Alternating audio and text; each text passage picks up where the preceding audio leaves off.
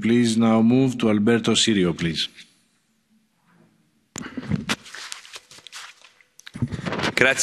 Thank you very much, President. Thank you, Commissioner. I am President of Piemonte, Piedmont. This is a region in Italy which was very severely struck by the coronavirus.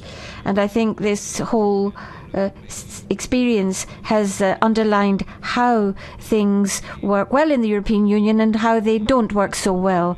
So, uh, obviously, Italy was alone uh, to a certain extent with its problem. But then the European Union began to take uh, more responsibility as the virus extended beyond the borders of Italy. So I believe that Europe has to be present even when only one country is affected, and therefore there has to be a change of the civil protection mechanism in Europe.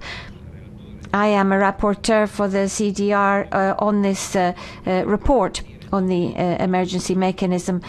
So uh, even when uh, one country is affected, even if it's a small country, if it's affected by a problem, this should be a problem for Europe. It shouldn't be only a problem for Europe in some circumstances. It must be a problem uh, for when it affects any of us. Thank you.